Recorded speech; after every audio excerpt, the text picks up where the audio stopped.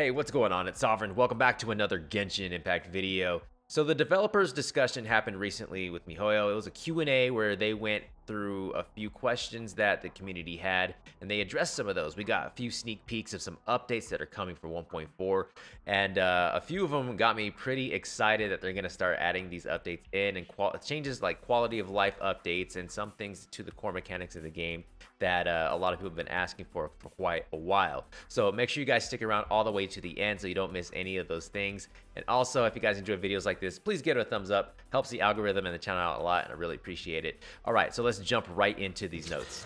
Starting off by saying, hey, travelers, another sizzling developers discussion is here. Come and take a look. All right. Question one. I wonder if we'll get to see the condensed resin cap increase to 4 in this lifetime. Here's an answer. In version 1.4, the maximum amount of condensed resin that you can have at once will be increased. Yes!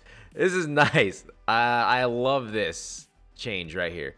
We will discuss this in detail during the version 1.4 sneak peek live stream, which is going to happen within a week to a week and a half. So we're really we're really close to seeing more of this.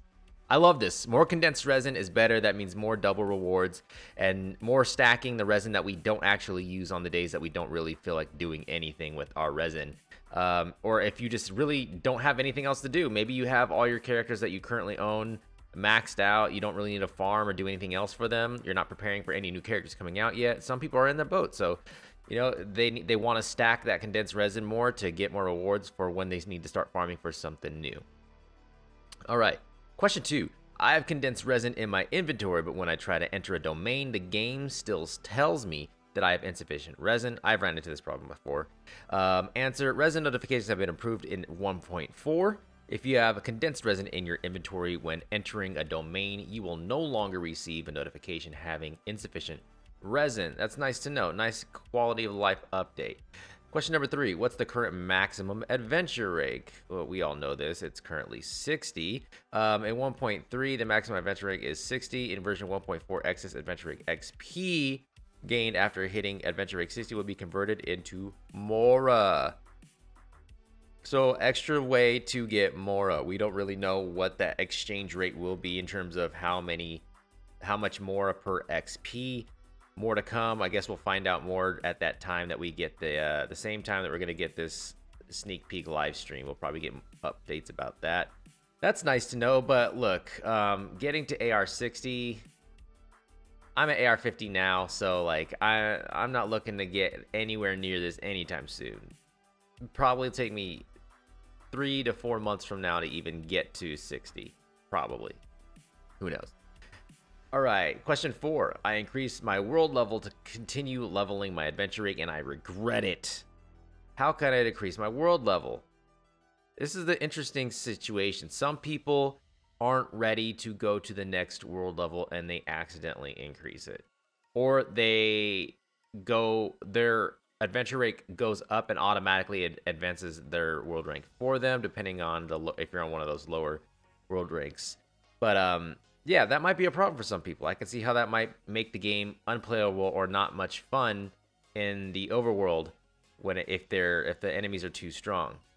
Um, and the answer for that is we have already created a solution. We will explain our plan for adjustments to all travelers during the version 1.4 sneak peek live stream. So it looks like um, there was speculation uh, or a leak a while back about being able to decrease your world level by one. So I think this is cool for the people that are in that situation that really would help them out. It's a nice quality of life change for them. Question five, can you improve the weapon upgrade system? It took me almost 20 minutes to get my weapon to level 40. The weapon upgrade system is clunky. Uh, they said to give travelers more convenient gaming experience, we will continue to optimize the weapon upgrade system in the future version updates, such as increasing the number of slots for weapon upgrade materials. Cool, but maybe just not have a max. Let us add as many as possible, and then other options like a select all or um, like a drag and select. I'm Just saying. Things like that might be helpful. Uh, question six. I can't use the crafting bench in co-op mode. It's very inconvenient. There's a lot of things we can't do in co-op mode, and it's kind of sad. This game has great co-op potential, but it's not really being built upon or utilized very well. And look, I'm not just saying that to complain about the game. I know that they have limited resources currently at MiHoYo. They're not a huge development team, but I feel like this this game is bringing enough money in for them that they can bring on more staff to develop more um, quality of life changes one and uh, two to flesh out the game this base level of a game they have that's a great foundation just needs to be built more on. Uh, we could rant about that in a whole nother video. Um, so improving the crafting bench has consistently been a hot topic of feedback from travelers. We have also been continuously tweaking and optimizing its features. One such feature is the ability to use crafting bench while playing with friends. We will make the crafting bench more convenient for travelers to use in future versions please give the dev team some more time so yeah they're working on stuff. I'm glad. And like I said, like they're they're probably a smaller team, um, and developing isn't something that happens overnight. Question number seven. I really want to save all my birthday mail. Wait, okay. Uh, the answer We strongly understand travelers' desire to save mail from their companions, so a mail favorite system is in the works never ran into that issue. I don't. I guess I just don't really pay much attention to the mail system, other than grabbing whatever rewards come through the mail. Question eight.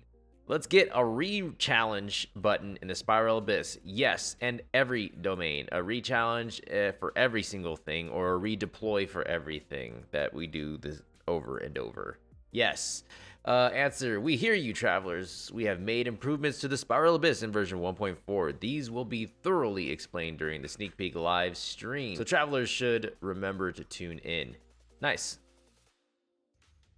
Yet again, this is just another way to feel like to promote their live stream, which is fine. We're going to get to know more information then, so I will definitely be there paying attention and then let you guys know what's up after that. Uh, question 9. I want to locate my co-op teammates faster. Yes, I agree. Answer The ability to quickly locate your teammates is already on our to do list. We will keep striving to improve Traveler's co op mode experience. Thank you. You can do it, Dev Team. I guess this is on the to do list and they're just saying, hey, Dev Team, you got this. Hurry it up. That's what it seemed like. All right. Question 10. After Xiao uses his elemental burst, does his elemental skill still generate elemental particles? No. But um let's go into a longer explanation. The answer for that, and after Xiao activates Bane of All Evil, his ult using Lemon Static when cycling his E on enemies will not generate elemental particles so long as he dons his Yaksha mask. It should generate elemental particles under any other circumstance. This situation is similar to Razor's, in which his elemental skill, Claw and Thunder, will not generate elemental particles while his elemental burst is active uh, not really new to people that play Xiao, but for those of you that are just still haven't really played it much, there's your answer. If you're using his ult, his E does not generate particles.